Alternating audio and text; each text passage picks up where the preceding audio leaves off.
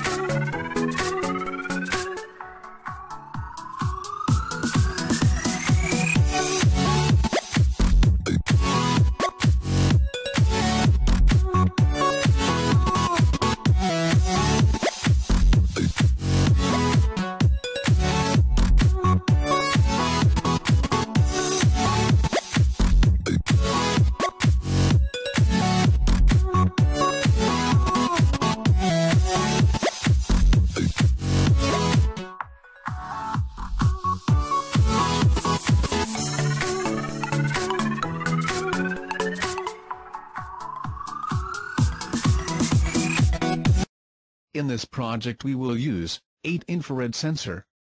The TCRT5000 are reflective sensors, which include an infrared emitter and phototransistor in a leaded package which blocks visible light.